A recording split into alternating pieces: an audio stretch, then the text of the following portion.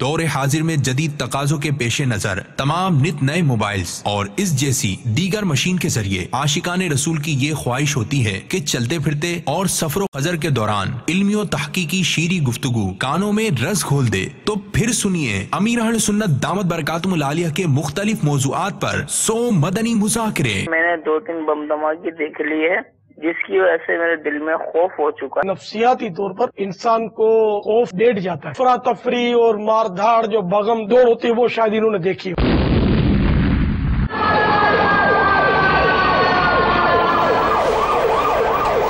जख्मियों की या लाशों की सूरतें देखी हो इन्होंने। खौफ उमूमन आर्जी होता है। वक्त के साथ साथ वो चला जाता जुल गोई से बचने वाले को हिकमत और दानाई अता की जाती कोई बोलने के आदि बहुत होते हैं, लड़ाइयाँ बोलने से ही ज़्यादातर होती है। गुफ्तगु की चार किस्में हैं।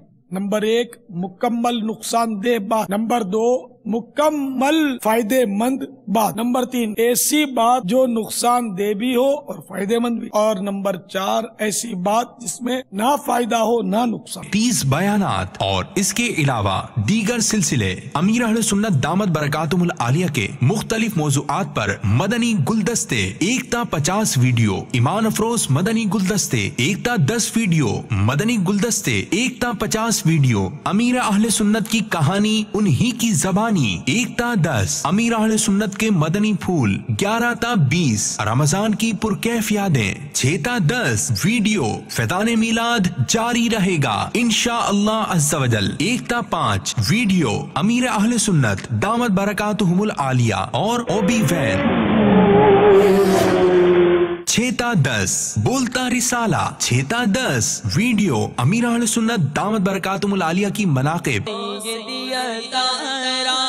मेरे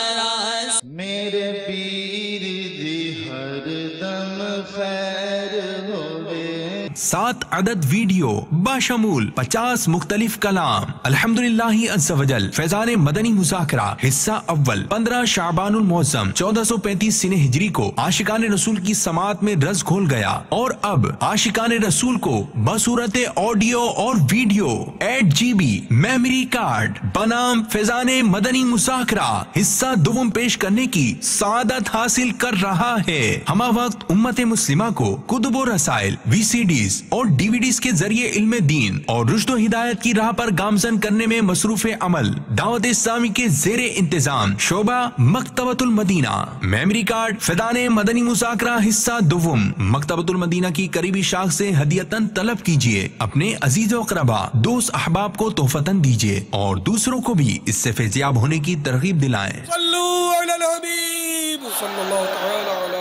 मुझे अपनी और सारी दुनिया के लोगों की सलाह की कोशिश करनी है।